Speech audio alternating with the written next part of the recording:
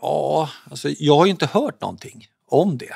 Eh, normalt sett så brukar det ju vara så att jag hör ju om det finns någon form av NHL-intresse. Så jag vet faktiskt inte heller riktigt var det ryktet kommer ifrån. Om det bara är tidningarna som har liksom slängt ur sig någonting för att... Men det är väl inte så konstigt med tanke på att han spelade heller? Nej, absolut inte. Men, men någonstans så är det så att själva NHL-ryktet brukar nå mig där det står så här att ja, de här, bara så att du vet, det här kan hända, det här kan ske. För jag vet jag som sitt på hockeyn alla år att pucken ska ju in på mål. Du kan passa och dribbla tills jag sömmer når. När skjut så jävla hårt den går så är händerna Skicka in en skrynklig puck på mål. Skicka in en skrynklig puck på mål. Skicka in en skrynklig puck på mål. På tal om målvakter då, ska vi ta och mm. kika lite på truppen, ja. tänker jag, som, så som den ser ut för SHL-laget inför den kommande säsongen med Mantas Armali som är kvar, gjorde en kanonsäsong. Mm. Eh, om vi börjar där lite, förväntningarna på Mantas inför förra säsongen när han kom, hur, hur var tankarna? Eh, ja, men, jag har ju följt Mantas och jobbat med Mantas tidigare och jag visste ju att han är en, en, en kille som, som gör de här avgörande räddningarna för dig. Eh, min osäkerhet kring honom låg ju lite grann på att han oftast är väldigt stark under hösten men har svårt liksom i slutändan att hålla ihop en hel säsong. Och så brukar inte siffrorna bli så bra i slutändan, de är fantastiska på hösten. Men jag tycker att förra året så det hände någonting. Eh, han och Milner jobbade extremt bra ihop tillsammans. Mantas på något sätt fick ihop en hel säsong och då får han också visa att han är en toppmålvakt i Sverige. Att det har funnits i honom, det, det har jag alltid haft en känsla för. Men, men att han ska hålla i 52 omgångar, nu stod han inte 52 men nästintill, över en hel säsong. Det var jag otroligt imponerad av. För det, det var jag väldigt osäker på innan. Så jag känner mig jättetrygg med att Mantas finns hos oss. Vi vet att han är en toppmålis och det behöver man om man också ska kunna ta nästa steg, att man har en bra målvakt.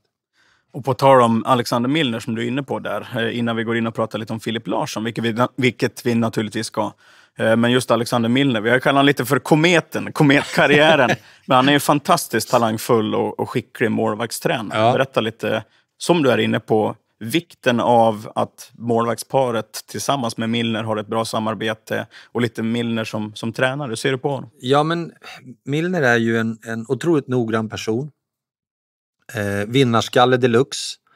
Eh, väldigt sällan nöjd med sina målvakter sådär drivs hela tiden av att göra dem bättre.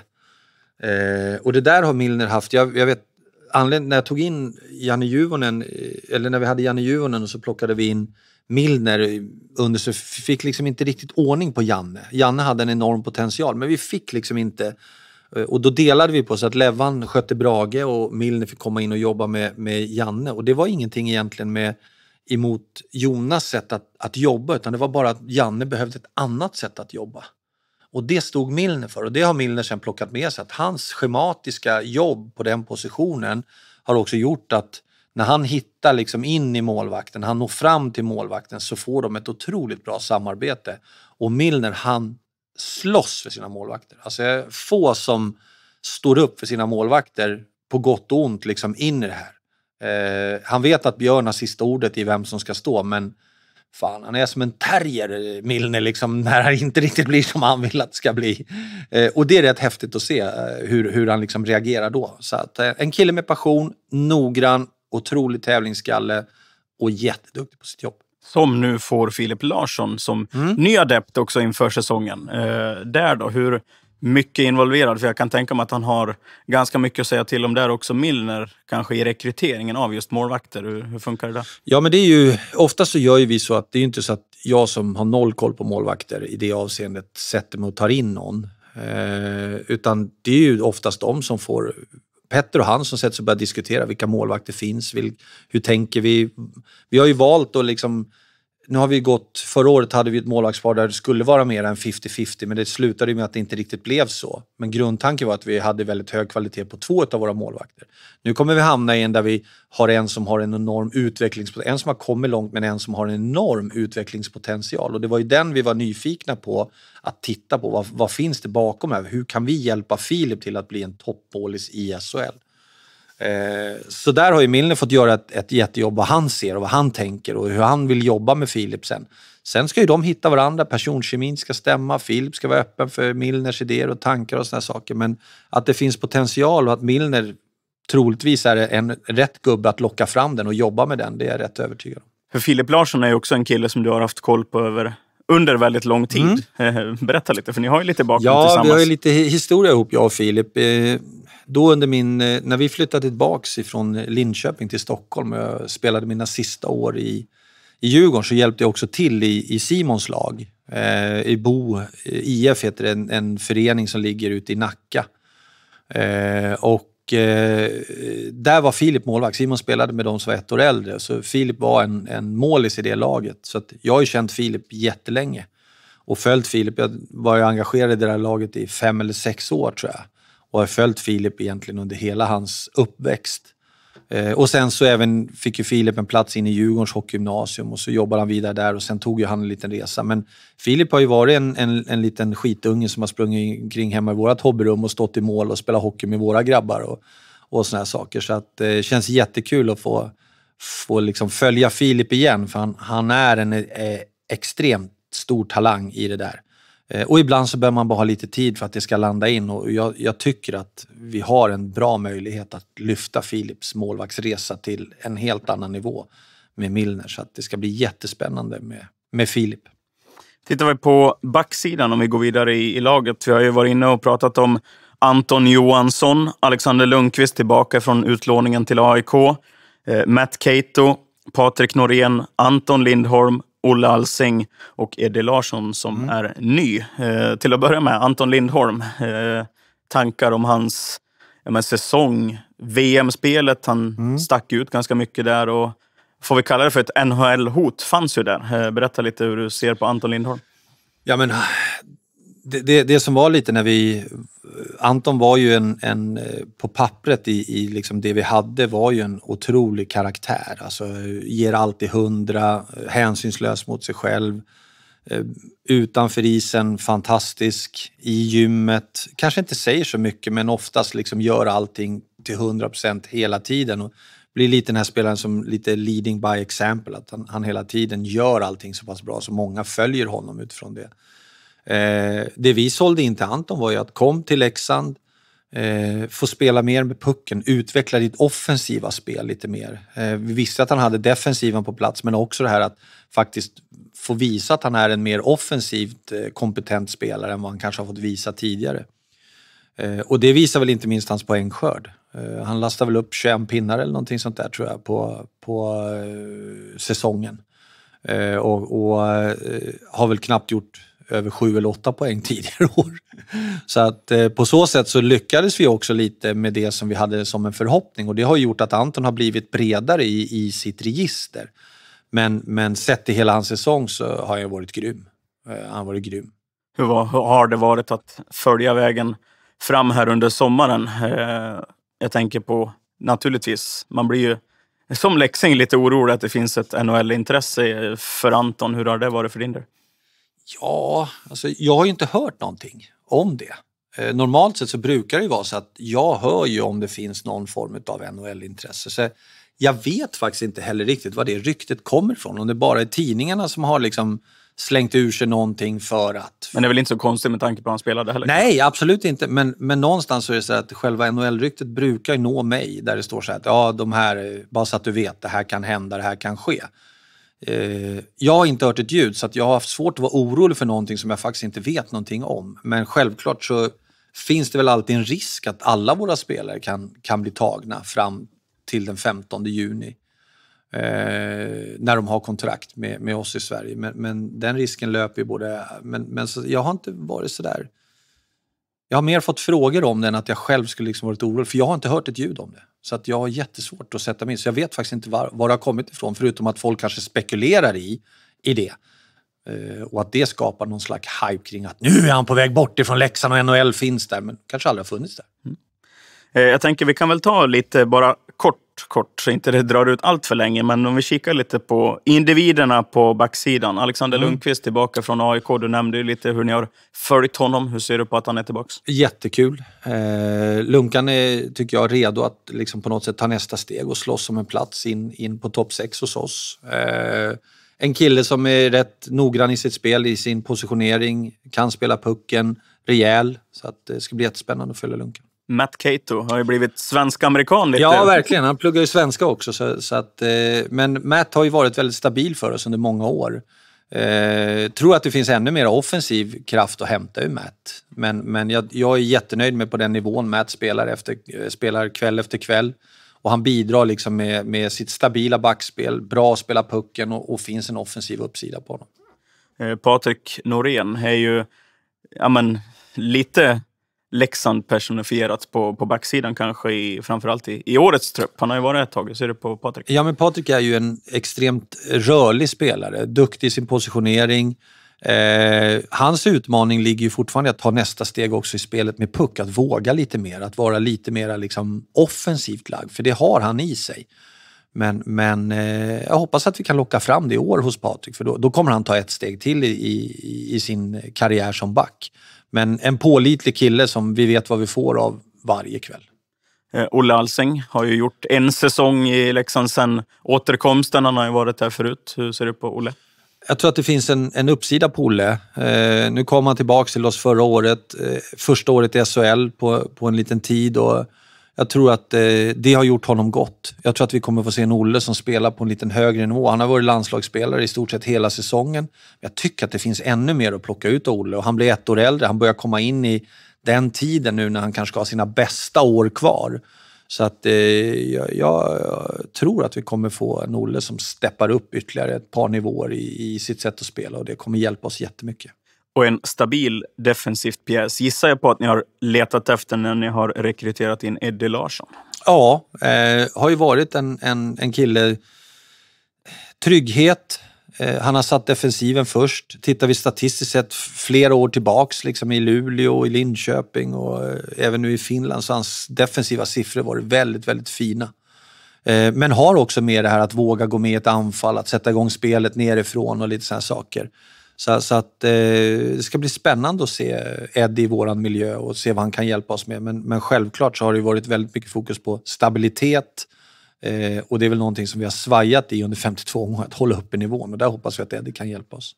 Jag påminner återigen om att vi eh, har den här pratstunden före midsommar här nu då. Eh, ifall det dyker upp ifall någonting det något, innan ja. det här läggs ut. Man vet ju aldrig. Eh, men så som dagsläget ser ut så är det ju sju stycken backar plus då Lukas Lagerberg som ju mm. lånas ut. Men hur ser du på, på backsidan och lite numerären där? Ja, eh, vi, vi, får väl se lite grann om vi... Nu kommer ju Lukas att lånas ut. Eh, men vi får väl i sånt fall kanske initialt lyfta upp någon ung kille underifrån. Det finns några spännande backar som kommer där. Eh, men absolut så håller vi, är det, är det en spelare som vi tycker och känner att vi behöver stabilisera upp vår backsida, men då får vi göra det. Men, men det är ingenting som vi håller på och eh, superjagar just här och nu, utan mer att dyker det här upp, det som vi tycker är intressant, så får vi nog kanske se om vi inte ska vara med och hugga där. Såg jag att Vancouver köpte ut Oliver. Ja, precis. Det var ju, och jag spelade på Eurojackpot. Tyvärr vann jag ingenting på Eurojackpot. Så att jag, vi väntar på den. vi väntar på den ett tag till. Eh, Forwardsidan då. Eh, mm innan vi, jag tänker att vi går in lite på individen också, men mm. generellt någonstans mm. med forwardsidan så som den ser ut. Vad, vad tänker du, känner du? Tydlighet. Eh, lite tydligare kanske än, än, tidigare år med, med lite vilken roll man kommer ha och hur kommer kanske hierarkin se ut. Sen ska man självklart förtjäna sin roll och sin plats i hierarkin. Men initialt i alla fall kanske lite Lite tydligare än, än det som har varit tidigare. Kanske också lite en annan inriktning just utifrån att vi vill ha lite mer liksom stabilitet och ha upp en nivå eh, på det. Så därför har vi också kanske viktat det om det lite grann med en sån som Lukas Vejdemo till exempel in som är en otroligt duktig tvåvägsspelare för oss. Eh, så att, eh, ja men lite mer tydligt tror jag och förhoppningsvis en, en liten annan stabilitet i, våra, i vårat spel. Nu är det ju absolut inte bara forwards, det är ju ett lagspel och allihop ska bidra, mm. men någonstans om vi kikar till att det producerades ganska få mål. Vi var ju ganska långt ner i den statistiktabellen. Mm. Hur, hur, ser du på den delen? För eh, ambitionen är väl att stiga lite där. Ja, och det var väl någonting som vi hamnade i förra året också, eh, tycker jag. Att vi, vi kanske hamnade med en hel del för lika spelare eh, in i våran trupp. Det var många som ville spela pucken. Kanske inte så många som ville skjuta den i mål. Utan mer folk som ville försöka spela in pucken. Och det vi hade väl vi ett powerplay ibland som de slog 4-5 och fasiken målvakten låg i sarghörnet. Men det var ingen som ville skjuta in den i, i mål. Eh, och det har vi väl försökt komma rätta till lite grann också med, med år med att Max kommer återvända. Vi tog in Peter, får kanske två killar som är lite mer naturliga i den rollen.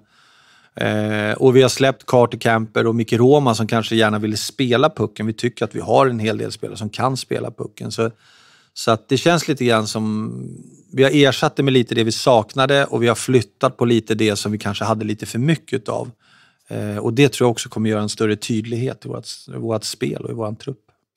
Om vi kikar lite på spelare för spelare. Då. Vi har berört Arvid Elias eh, sen tidigare. Du var inne och touchade lite på Lukas Vejdemo som är mm. ny då från Djurgården senast. Eh, om du utvecklar lite vad, vad du ser i, i Lukas? Jag hade ju Lukas när, förra gången när jag arbetade i Djurgården, både från juniorerna upp i, i herrlaget. Och, och Lukas är ju en, han kan göra poäng. Men en otroligt duktig kille att jobba i båda ändarna. Mycket defensiva uppgifter, kunna stänga ner, en arbetskapacitet som är enorm. Eh, en härlig kille, en grym karaktär vid sidan om, väldigt liksom, mån om att vara i bra form. Eh, Lukas har alla potential att kunna bli liksom en toppcenter i den svenska ligan, men han behöver, kommer behöva ha lite tid. Han kommer från en skadeperiod. Och därför också vi valde att skriva ett lite längre kontrakt med honom för att det finns en enorm potential i honom men vi måste få jobba med den lite över tid. Vi får inte skynda fram någonting här. Men jag tycker Lukas i slutspelet förra året, för varje match som gick så vart han egentligen bara bättre. Eh, och det gör att jag känner mig otroligt nyfiken på hur han kommer att ta sig an SHL och successivt säsong för säsong att kunna växa och förhoppningsvis kanske bli en landslagscenter så småningom. Eh, det var inte så, så länge sedan, det var väl nu i veckan, tänker jag på en intervju som gjordes med Lukas Vejdemo, där han ju är ganska tydlig med att han har ett stort hjärta för mm. Djurgården, vilket mm. är självklart och ganska naturligt. Eh, kommer till Leksand nu på ett långtidskontrakt som du säger och det är ju ja, men, så elitidrotten och, och hockeyn ser mm. ut nu. Hur ser du liksom på på, på den delen. Det är ju inget tu tal om att han kommer att ge sitt allt för Leksands IF, men du ser det liksom på, ja men om du förstår, för det, det river ändå upp vissa ja, känslor. Ja, men det är klart att det gör det. Eh, däribland så kanske man som spelare också behöver kanske ibland tänka sig för lite hur man uttrycker sig, vad man säger. Eh, det är väl inte tull tal om att, att någon inte vet att han har tillhört Djurgården. Och ungefär som att jag också sitter, jag har verkat 19 år i Djurgården som organisation. Det är klart att det finns en speciell plats. Eh, men där ibland som spelare kanske man eh, behöver tänka sig för lite hur man uttrycker sig, vad man säger. Samtidigt som jag vet att media är ju rätt duktiga på att hugga på de här sakerna och då måste man gå kanske på sin extra vakt också som spelare. För det är klart att det alla i Leksand vet om att han har spelat i Djurgården. Alla i Leksand vet om att han har ett Djurgårdshjärta eh, i det avseendet. Så det är inga hemligheter, men eh, det var någon supporter som sa till mig att jag vill gärna inte läsa om det i tidningen bara. Och det är väl lite det jag också kanske kan tycka i de här sammanhangen. Men ibland så får de learning by doing och så får man väl lära sig någonting av det och så får man ta det vidare. Men, men att, att Lukas är här för att bli en bättre hockeyspelare och vill utvecklas och tro på det vi i Leksand gör. Han hade aldrig skrivit ett fyraårskontrakt annars om han inte kände att det var rätt för honom. Och därför är jag rätt, eh, eller jag vet att han, han kommer att slita häcken av sig för, för att vi ska vinna. Om vi kikar på övriga forwards då. Eh, Marcus Karlberg som ju kom tillbaka mm. till Leksand från Borlänge inför förra säsongen. Hur ser du på Marcus? Det eh, finns mycket hockey fortfarande att utveckla. En ung kille. Eh, Mackan har speeden. Han har liksom också skottet tycker jag. Arbetskapaciteten. Han är noggrann. Jag tycker han har mognat som människa under den här tiden han var liksom ute i Hockeysverige och letade efter någonting och, och tar ett mycket större ansvar nu i, i spelet utan puck till exempel. Så att, otroligt nyfiken på att ge Mackan ytterligare några år liksom i utveckling och, och vad kan det leda till och vad, vad kan vi få ut av honom. Så att, eh, eh känns jättespännande att följa Mackan. Patrik Zackrisson, jag höll på att säga kapten Zacke. Hur, ja. hur gjutet ristat i sten är det med kaptensrollen om vi börjar där? Zacke är ju en otroligt bra kapten. Eh, tycker jag. Han, han, tar hand om gruppen, han är mån om alla spelare, han är lätt att resonera med. Eh, Björn och han har ett bra samarbete, vilket också är viktigt. Eh, ingenting är väl hugget i sten om hur kaptensdelarna ska se ut. Det där brukar man oftast göra en analys av. Det är mycket tränargruppen som gör sin analys av vad de tycker, vad de vill ha ut av det. Men hittills så, så tycker jag att det finns inte så många fläckar på Sackes kaptensroll som, så som han har bedrivit det här i, i Leksand. Eh, gör det inte. Men, men som sagt jag lämnar det där lite till tränarna om hur de vill formera kaptensrollerna. Som spelare då, Patrik Zackrisson? Eh, laglojal, arbetar eh, hårt över hela banan, skulle skjuta lite mer. Han har ett otroligt bra skott och kan göra mål. Men, men framförallt så är han väldigt laglojal och sätter laget först och främst och, och, gör sitt jobb. Jag vet vad jag får av Saki i stort sett varje kväll. Om vi kopierar det och kanske spetsar det ännu mer så hittar vi väl Martin Karlsson med de mm. ordvalen, just laglojal och verkligen gör sitt jobb och gör det med hjärta. Mm. Vad säger du om Martin? Ja, det är ju och det är mycket det man får med Martin. Man får ju en, en, både en kille utanför banan som är otroligt härlig, men också en kille i gymmet som driver på, som är noggrann med allt han gör. Han kallar sig för Skalman för han sin mat och sovklocka hela tiden, för han ska äta exakt då, han ska göra exakt det där då, så han är ju extremt noggrann. Men, men också ute på isen så är det ju en kille som, som eh, arbetar extremt hårt. Ibland kanske han arbetar lite för hårt. Eh, skulle ibland kanske behöva stanna upp lite grann för att tänka lite mer för att det skulle kanske bli ännu bättre. Men, men eh, arbetsmoralen och, och, det Martin står för är någonting som vi i Leksand värdesätter väldigt högt. Så det känns jättebra att han finns med oss. Ser du på Martins ja, men, status? För eh, han kommer väl att missa en del av hösten i alla fall, mm. som jag har förstått det. Mm. Hur, hur, ser du på, på det och jag tänker liksom forwardsidan generellt med, med den tiden för när Martin kommer att saknas? Ja, alltså jag, jag, tycker att vi har lite den spelartypen också inne i vår forwardsbesättning och sen ska det bli spännande att kanske ge någon kille underifrån möjligheter att finnas med oss. Och jag tänker på en sån som Felix Unge Sörum till exempel, att kanske få se honom lite mer i, i våran miljö eh, på ett naturligt sätt. Så, så att, eh, jag tycker inte att det känns som att vi behöver gå ut och hämta in någonting utan då får vi lita lite på det vi har och vi får ta de spelarna som vi jobbar med och tro lite på de killarna som kommer underifrån. Och så får Martin successivt eh, rehabilitera sin skada, växa in i det här igen och komma tillbaka. Det var någonting som han behövde göra för att han skulle kunna fortsätta spela. gick åt fel håll med, med, med skadan så att man är tvungen att åtgärda den. Det är gjort nu men det tar sin lilla tid innan han är frisk. Eh, går det någonting att säga om tiden? Nej, inte mer än att vi ska nog inte ha förhoppningar att, att han finns med i alla fall eh, seriestart eller kanske ytterligare en eller två månader in i det. Utan kanske snarare fram i hur statusen är borta i landslagsbreaket i november. Eh, kanske in där någonstans. Vi kanske kan börja titta på om, om det börjar bli läge. En som verkligen blev en smällkaramell under förra säsongen var ju Kalle Östman som ja, stod för en mm. hel del mål. Han vann väl dessutom interna ja. poängligan tror jag till slut. Och vid sidan av det på något sätt en helt fantastisk individ att, jobba med. Mm. Inte minst med Borlänge-dialekter, men ja. det, är, det är en härlig pojk på alla sätt och vis. Hur ja. ser du på, på Kalle Östmans intåg i Leksands IF? Eh, ja, men otroligt härlig. Eh, att Kalle har kvaliteter i, i spelet och såna saker, det, det har man sett under många år. Jag såg en hel del matcher när Kalle spelade i Djurgården med tanke på att jag hade Simon i Djurgården. Eh, så, så utifrån det så, så såg jag rätt mycket ishockey med Kalle. Eh, fick väl inte liksom den, det förtroendet eh, i Malmö där som man kanske behövde men växte ju till oss till en, en kille som styrde vårt första powerplay och levererade också där i vilket var väldigt spännande och, och, och, se den resan som Kalle gjorde. hade någon sagt till mig innan säsongen att Kalle Östman kommer vara den som vinner den interna poängligan, eller målligan kanske det var framförallt, det vet jag inte om jag hade trott på då. Men, men att han eh, skulle kunna spela bra ishockey för oss och, och, och, göra det varje dag, det, det kände vi att det fanns där. Och sen har han, han har mer lir i sig än vad många tror. Och jag tycker att det är kul att han har fått visa det. Eh, Jon Knuts är ju klubblegendar redan nu ja. får vi ändå säga. Han närmar ju sig den där klubbrekordet som Niklas Eriksson har på 721 spelade matcher. Ja. Hur ser du på att ha en sån som Jon i laget? Ja, men lite samma också som, som i Martins fall, att det, det, är lite kärnan i Leksands IF under ett antal år och Jon är kanske ännu mer Leksands IF personifierad.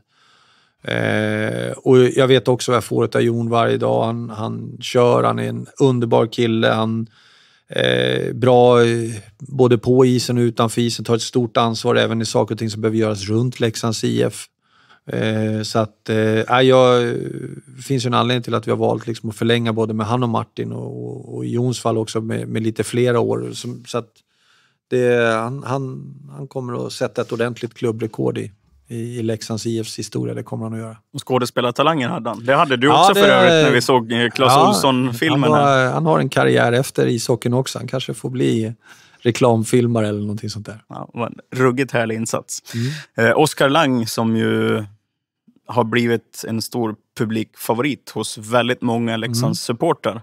Och det känns lite som att han de senaste två säsongerna kanske har tagit ytterligare ett kliv. Mm. Hur ser du på den lille Oskar? Eh, ja, men det är ju precis det han har gjort. Eh, att det har funnits hockey i Oskar, det är väl, är väl ingen som har tvivlat på. Sen ibland så tror jag att man, man tror att han är äldre än vad han är, för han har varit med så himla länge. Eh, men eh, Oskar är ju en speedkula Eh, och har ju liksom i sin utveckling för att, att på något sätt ta nästa steg också kunna bli en kille som kan pausera sitt spel lite grann. Att han kan styra tempot innan han åker skridskor. Och framförallt att han kan i de lägena också bryta inåt i banan och komma in lite farliga ytor. Och det tycker jag han har jobbat väldigt hårt med och det är det han tycker han får lite pröjs för. Sen behöver han ha ett bättre skott. Skulle han ha ett bättre skott skulle han kunna göra 25 plus mål. För han kommer till lägen. Men, men han behöver jobba med sitt skott för och fortsätta göra det han gör. Då kommer han att betyda ännu mer för oss. Lite intressant som du säger, alltså sådana detaljer på alla spelare egentligen. Hur mycket hinner man jobba med teknikutveckling? För det, mycket handlar om att prestera poäng och resultat ja. under säsong. Men hur hinner man jobba med sådana grejer? Eh, vi har varje dag egentligen en halvtimme för individuell utveckling där man får jobba mycket på de delarna som man behöver jobba på som spelare. Så en halvtimme före varje ispass så finns det alla möjligheter, både med att tränarna är ute och man kan titta på video och man kan gå ut och träna på det. Och ibland är de flera som tränar på samma sak, ibland är det några få som tränar på det. Så att, eh, det finns rätt mycket tid att utveckla det. Och Ja, jag höll på att säga att skottet har han Max Verno, men det är ju faktiskt inte hans största styrka, även fast han Nej. gjorde väldigt mycket mål sist han var i Leksand, inte minst. Hur ser du på att Max Veronneau kommer tillbaka? Eh, ja, det är jättekul att Max kommer tillbaka. Eh, förra gången han var här. Han, är ju... Hans, så att säga, när han får pucken så är han ju ett hot. Han kan ju dribbla brallorna av vem som helst, höll jag på att säga, med sin teknik och sitt fart och sin fart. Och, och det gör ju att man måste respektera honom ute på isen på ett annat sätt. Och det gör att kanske andra kommer att få möjligheter. Att han kommer bli hårdare tagen den här säsongen. Att man kommer att ha koll på honom, helt övertygad om. Det brukar då också rendera i att det blir inte samma utdelning som när han var här sist. Eh, men, men att Max kommer hjälpa oss i det offensiva spelet, ja det kommer han att göra. Kommer han göra 34 mål igen? Tveksamt kanske. Men, men eh, Max är absolut en kille som har potential att göra plus 20 mål i, i våran spelartrupp. Och gör man det, då, då tillhör man de, de bättre i, i ligan på att göra mål. Och där, där tycker jag att Max ska finnas eh, och har potential att finnas. Men, men 34 mål kanske känns som en, en liten hög målsättning. Hur ser du lite där på att han har ju, han har ju genomgått en operation. Mm. Eh, och tittar man tillbaka på säsongen som han hade i San Jose Barracuda också så naturligtvis hämmad av skadan. Eh, men poäng, produktionen blev ju inte heller så jättehög och han kanske fick stå tillbaka lite där. Hur ser du på att han måste växla upp kanske igen ett steg? Ja, alltså, det var väl bra för oss att han inte gjorde så bättre, mycket bättre, tänker jag. Att, att han fortfarande, det är också ett sätt att se på det. Ja, att han fortfarande kommer kunna spela bra ishockey på en lite större rink. Ja. Det är ju inte så att han har glömt bort liksom, det han gjorde bra när han var här sist. Sen kanske han behöver ha lite tid på sig för att akklimatisera sig, vilket alla oftast behöver. Nu tog ju vi Max när han hade spelat ett antal matcher i Oskarshamn och varit i Europa och sen satte vi in honom i våran miljö. Nu kommer han ifrån lite mindre rinkar, lite en annan typ av spel. Så han kanske också behöver ha lite mera tid på sig att hitta rätt. Men, men Max var ju inte en kille som, när han dök upp på listan så var det ju utifrån då vad vi tittade på honom borta i AHL så var det ju väldigt långt ifrån samma Max som vi såg när han kom till Europa sen och började spela i Oskarshamn. Vi, eh, han föll oss inte på smaken när vi såg det han hade presterat i AHL och det var nog ungefär det vi fick se den här säsongen också. Och ibland kan det vara så att det kanske passar en spelare bättre att ha någon meter till här på isytan, någon lite större möjligheter att göra något, kanske lite annan typ av spel och sådana saker. Så att jag hoppas att, att Max ska kunna kopiera sitt spel från tidigare och att det passar honom att vara i SHL. Men sen har SHL blivit lite bättre också sen Max var här sist. Om vi går vidare till Mark Rivik mm. som eh, tillbaka i Leksand igen då. Och jag tänker att han kommer ju ändå tillbaka med ganska mycket förväntningar på sig också. Mm. Eh, som man kanske, i alla fall i mångas ögon, inte riktigt levde upp till under säsongen som var. Hur ser du på nästa säsong för Mark Rivik? Eh, positiv. Jag tycker att det var bra att han fick fortsätta spela VM till exempel. Eh, jag tycker att han eh, behövde ha lite flera matcher och, och få tävla på en, en, extremt hög nivå och känna att han på något sätt ändå är eh, lite där han vill vara. Jag tror att det var mycket det som frustrerade Mark under säsongen. Han kom in lite sent.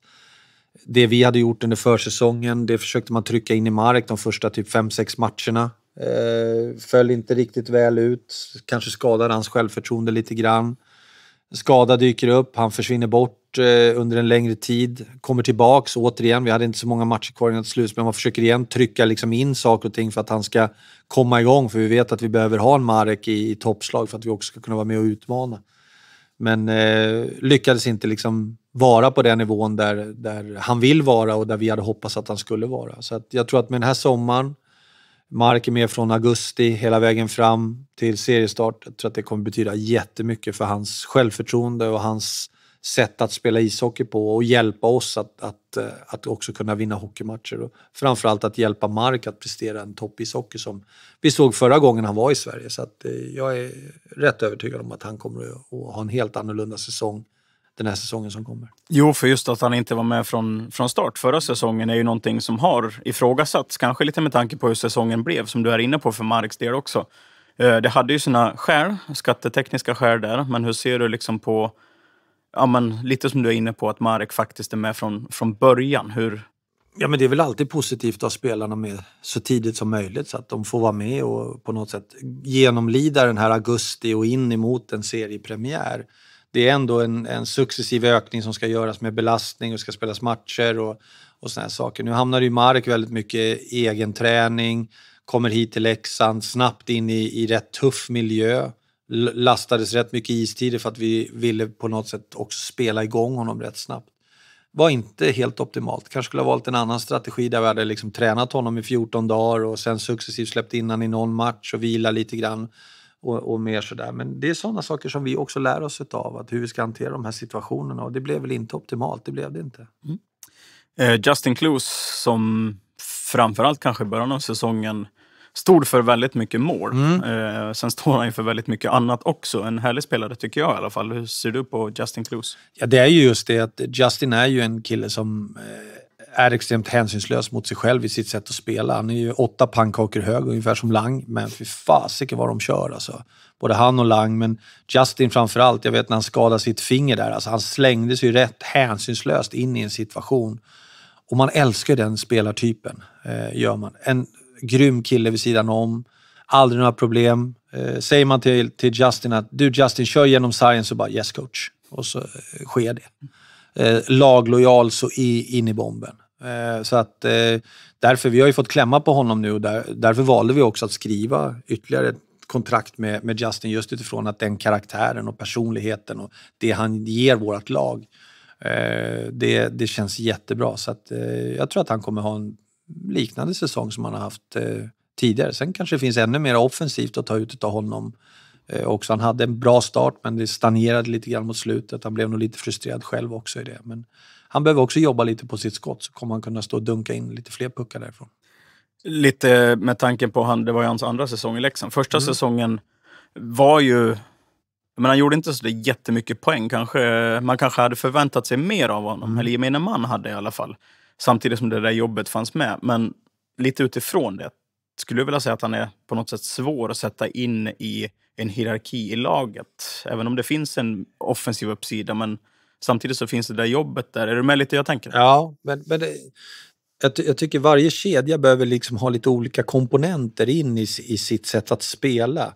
Eh, och där står ju Justin liksom kanske för det hårda jobbet mycket och vinna tillbaks puckar och vara aggressiv och slå sig in på mål. Och, och liksom. Det är väl inte kanske, även om jag tror att Justin själv gillar att göra poäng och, och göra mål, så är det inte det som jag satt som hans huvudepitet heller. Utan det handlar ju mycket mer om att vara den här nagen i ögat, att ta de här kamperna in framför mål, att vinna puckar och på så sätt då sätta, skapa utrymme för de övriga i, i sin formation. Sen att han och, och Lang kompletterar varandra med sitt intensiva jobb och är en mardröm för motståndarna, det är ju underbart. Men, men jag har inte liksom målskytt som nummer ett på Justin Clues. Det har jag inte.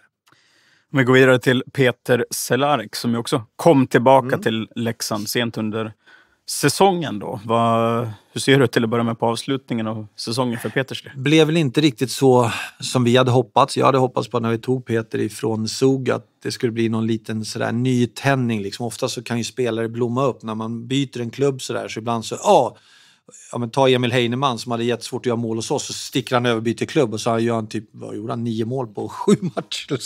Det var lite det vi kanske också hoppades vi skulle få en effekt av på Peter. Men vi fick inte riktigt den delen och han hade lite dåligt självförtroende och fick kämpa lite grann med, med de delarna. Jag tror precis samma som, som eh, för Marek Riviks del där. Att eh, en bra sommar, var med laget från första början. Jag tror det kommer betyda jättemycket för, för Peter. Vi vet att han och hans fru trivs väldigt bra i Leksand. Det kommer inte vara liksom någon problematik överhuvudtaget. Så att, att han får vara med från första augusti betyder jättemycket, precis som för Mareks del. Så att vi kommer nog ha två, två slovakiska killar som kommer vara på en annan nivå än det vi fick se förra säsongen och det känns jätteskönt. Ytterligare en spelare som kom in under förra säsongen då, det var ju Lukas Elvenes. Mm. Tankar när ni plockade hit Lukas till att börja med? Ja, vi, vi tittade på Lukas redan tidigare, alltså säsongen innan och, och gillade liksom Lukas sätt att spela pucken. Det var lite där som också var den här vi kanske fick, liksom med Lukas in i laget, så fick vi ytterligare en som ville hålla i pucken och ytterligare en som ville spela pucken. Men, men Lukas fanns ute och Lukas fanns ute på marknaden både när det kom till ekonomiskt fördelaktiga delar och att vi också var intresserade av honom och då också ge honom ett lite längre kontrakt för att vi kände att här finns det en kille som kommer kunna styra ett powerplay, som kommer kunna stå för kreativitet. Men just i förra årets trupp så kanske det varit för många av den typen. Vi hade Camper, vi hade Lukas, Eh, vi hade Roma, vi hade liksom en hel del som, som var där. Nu, nu tror jag det kommer bli ännu tydligare för Lukas med en tydligare roll. Men jag älskar ju hans kreativitet och ibland så kan man ju få gråa hårstrån när han börjar liksom passa puckar till höger och vänster i egen zon och man tänker så här, oh, det, ah, oh, sitter man eh, sådär. Men det är ju också en del. Han är ung. Det är ingen jättegammal kille, född 99. Han har sina bästa år kvar framför sig. Eh, och lär sig utveckla sitt spel med genom erfarenhet och det för varje säsong. Så att jag tror att Lukas kommer att kanske förflytta en hel del av de här riskfyllda passningarna lite längre upp i banan så att vi slipper ha dem i eget zon under säsongen. Men kreativiteten och, och hitta lösningar, det är en fröjd för ögat att se Lukas. Carter Ashton. Mm. Härlig spelare. Ja, stor fysisk. Stor fysisk, eh, jobbar hårt. Eh, tycker han förra året liksom, har inte kanske fått den här mm, poängskörden loss. Han har haft en hel del chanser, han, han tar sina möjligheter men är ju en av de bästa att stå framför mål i ligan. Eh, finns där, suger upp returer. Eh, förra året fick han en enorm liksom, skjuts också sin arbetskapacitet att jobba över hela banan.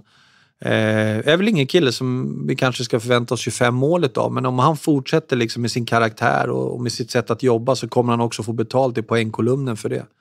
Men, men en otroligt underbar människa att jobba med. Lite som du nämner, blev det så att han, jag ska inte säga kom in fel. Det var väl jättehärligt att han sprutade in mål som han gjorde i början, men jag tror att det satte lite med felaktiga förväntningar på Carter Ashton med tanke på men, den produktionen han hade under sin första säsong när han kom hit. Ja, men så, dels kan det vara det, men, men sen är det också så att vi får ju också vara lite ärliga. Vilka förutsättningar ger vi en sån spelare också? Han har ju vandrat rätt mycket upp och ner. Det var en laguppställning. Ibland har det varit tredje kedjan, ibland andra, ibland fjärde. Liksom, lite som Sacka också förra året. Det liksom, spelar ju nästan aldrig med samma spelare och, och vissa killar hamnar ju där och då gäller det att, man, att de är ödmjuka och försöker göra varje match och varje situation så bra som det bara går utifrån de förutsättningarna. Skulle vi ge Ashton förutsättningar att bara spela i en första kedja och, och liksom bara stå så skulle vi nog också se flera poäng i, i den kolumnen. Det är jag helt övertygad om. Men ödmjukheten hos Ashton utifrån den rollen han blir tilldelad är toppklass. Eh, och jag tycker att han har mycket saker i sitt spel som vi behöver, som är lite osvenska in i, i sitt sätt att spela ishockey på. Och sen har han det här bläckfiskkladdigheten framför mål med puckar som är lite lösa och vinna och såna saker. Och fortsätter han med det så kommer han också få lite betalt i poängkolumnen, jag är helt övertygad om. Och alla de här spelarna som vi har gått igenom och som du har fått utveckla lite kring, eh, de når ju inte resultat utan att ledarsidan mm. funkar på ett bra sätt. Eh, och tittar man lite på spelartruppen, det är mycket kontinuitet, spelare som är kvar. Samma sak på tränarsidan och ledarsidan runt omkring. Mm. Jag tänker på dig, Peter Karnbro och Christer Sik. Ni känner varandra väl, har mm. jobbat ihop några säsonger. Ni är intakt. Samma sak med fysbiten med Jesper Gillerås och även materialförvaltarna där med, med Corning och Levén. Mm. På fysiobiten blir det dock mm. Eh, ett byte inför den kommande säsongen. Eh, men berätta lite hur du ser på delarna runt omkring laget. Ja, men det har väl också varit eh, lite samma tänk där, att kontinuitet och trygghet med, med bra människor som är inne och jobbar i vår förening, som är duktiga på det de gör. Ja, men det finns ingen anledning att hålla på och röra om och byta bara för att man ska. Eh, och så länge vi känner att drivet finns hos alla, man bidrar med det man ska göra, man är duktig i sin roll, eh, då, då kommer vi fortsätta med kontinuitet. Eh, sen blir det alltid någon här och någon där. Ja, men I det här fallet Styv som fick lite andra eh, utmaningar i sitt liv som gjorde att han var tvungen att lämna. Eh, då måste vi försöka hitta någon ersättare som kommer in och kan komplettera vår grupp och kan höja nivån in i vår tränargrupp. Eh, vilket jag tycker då att en sån som eh, Challe Berglund kommer in och gör. Eh, sin personlighet, integritet, sitt hockeyöga. En rolig kille runt omkring sig, sprider mycket positiva delar. Kommer vara lite mera pådrivare än kanske de ledarna vi har idag. Eh, så att jag är rätt övertygad om att det kommer vara som en handen i handsken in i våra tränarteam. Så det, det känns jättebra. Och sen på fysiosidan där, Per-Ivar har gjort ett fantastiskt jobb och byggt upp vår medicinska sida, men, men samma sak där. Har lite andra uppgifter i sitt liv som han tycker är lite viktigare. Och då har vi behövt rekrytera in en ny fysio, Emilia Backman, som kommer in och ska hjälpa oss under säsongen. Hur eh, är det där med, men det som du säger med Emilia in som ny fysio, det är också mm. ett stort ansvar naturligtvis. Eh, Challe, som du säger, Berglund då. Viktigt mm. att skilja dem åt, Karlberg och Berglund. B1 och B2. eh, men för de här två då, det är ju ändå två nya härliga individer in i ett ledarteam som ändå får komma in med lite nya ögon mm. i den här kontinuiteten. Hur, hur är det att skola in dem? Ja, men det är ju rätt lätt när man har en rätt bra ram runt omkring. Eh, när det är en trygg ram som finns runt i ledarstaben med, med tränare och ledare som har varit här väldigt länge så blir det också rätt enkelt för de här att smälta in i den miljön och anamma det som vi vill att vi ska göra och hur vi ska jobba. Sen självklart vill man ju att de här ska få fatta sina egna beslut och våga också sticka ut och säga om man tycker att man behöver förändra något eller göra något. Eh, och det är jag faktiskt inte orolig för utifrån hur de här två individerna är. Eh, så att jag, jag tror att vi kommer ha en bra dynamik i vårt ledarteam men det blir väldigt lätt för de här att smälta in i den miljön som vi har. Mm. Eh, avslutningsvis innan vi lämnar truppen om man säger så. Mm. Om vi bara lite kort kikar på de som lämnar Leksands IF också. Mm. Eh, Casimir Kaskiso på målvaktssidan. Eh, Tobias Ekberg, Jonas Ahnelöv på backsidan. Eh, Jesper Kandegård och Mikael Rohoma. Sen har vi dessutom, utöver dem, då, vi mm. spelar in Emil Heinemann och Liam Bixel också. Mm. Eh, hur, eh, hur ser du, om vi börjar med, med Lian där, för det är väl kanske han, han, står inte på den här listan över lämna Leksands IF. Hur går Nej. den dialogen? Nej, men det, det, är ju, de har ju varit rätt tydliga från eh, representant för Lian och, och, Lian själv att det är Dallas som gäller, att det är det de siktar på för, fullt ut. Eh, har väl inte valt att skriva något kontrakt med någon klubb i Europa än så länge, men eh, nu går han ju lite skadad och håller på med sin rehabprocess. Jag antar att han ska över till Dallas och sen därifrån sen kommer väl de kanske fatta någon form av beslut om vilken väg Lian ska ta. Om det nu är så att han inte spelar i NHL. Men jag har inte varit på att peta på det där för de har varit så tydliga med att nej men det är Dallas och det är NHL som gäller och det är där vi vill lägga fullt fokus. Eh, och då ska de få göra det. Sen hoppas jag att om det skulle vara så att de inte väljer att det inte blir Dallas, att Leksand skulle kunna vara ett alternativ. Samtidigt som vi får se lite vad vi är då. Ja, men har vi fyllt på med någon eller har vi inte gjort det? Har vi fortfarande den möjligheten att ge det som Lian eftersöker i, i sin roll, lite det här med tydlighet som vi pratade om tidigare så, så kanske det blir en perfect fit. Men den kanske inte dyker upp förrän i, i slutet på juli, i mitten på augusti någon gång. Eh, så vi får se lite vad det studsar. Men han skulle absolut kunna vara en av pusselbitarna som skulle kunna falla på plats lite senare. Och Emil Heinemann som ju var på lån tillbaka till ja. sin moderklubb Leksands IF i fjol. Då. Eh, och som jag sa tidigare, Casimir Kaskiso, Tobias Ekberg, Jesper Kandegård och Mikael Rohoma. Hur ser du på... Det är ju en naturlig del av hockeyn. Några Ja, alltså, och, och, det finns ju olika anledningar till, till det. Eh, Kashmir behöver ju få spela mer om man tittar liksom lite så. Ekberg, vi kunde inte heller riktigt ge. Han är inne liksom, börjar passera över 30 och har inte så många år kvar och behöver ut och göra det. Ahnelöv har ju varit en, en, en dialog där jag ville ju att Jonas skulle fundera lite grann på hur han såg på sin hockeyresa framåt och vad kan vi erbjuda en kille som är 35? Ja, men ska han sitta på en buss Eh, som back nummer sju eller back nummer åtta ner till Oskarshamn? Är det där han vill? Är det det han vill ta sin hockey? Har han motivation att träna så hårt som det krävs?